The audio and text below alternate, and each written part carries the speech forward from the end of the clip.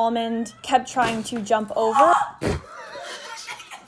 We don't really hear about cats chasing dogs. It was really funny for us to see. In the beginning, we got these clear gates that we found to help them slowly integrate together.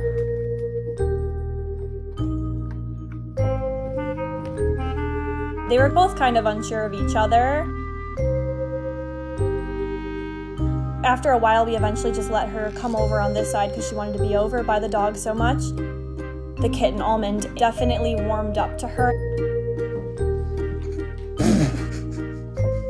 it was very surprising to us to see that Almond was the one chasing her around.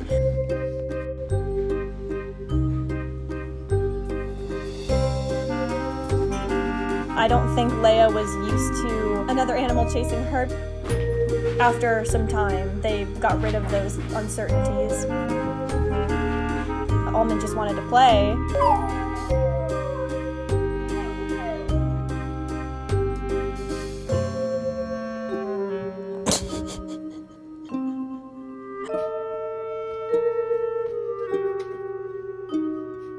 she wanted to cuddle with Leah.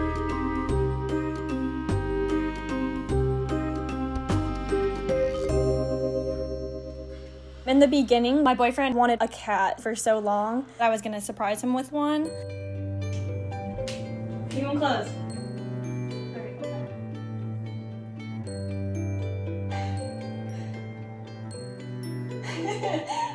You're lying.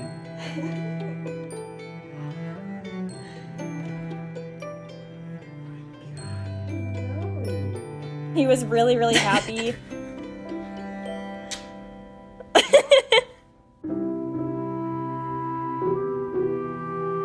just loved to be around her.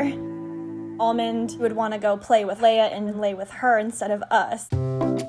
They're very different now than they were in the beginning. Almond would come over and lay down with her.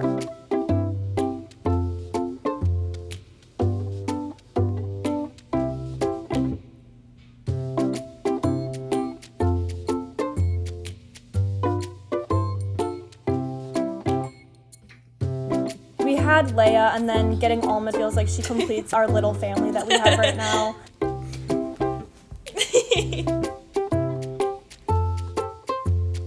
She's so much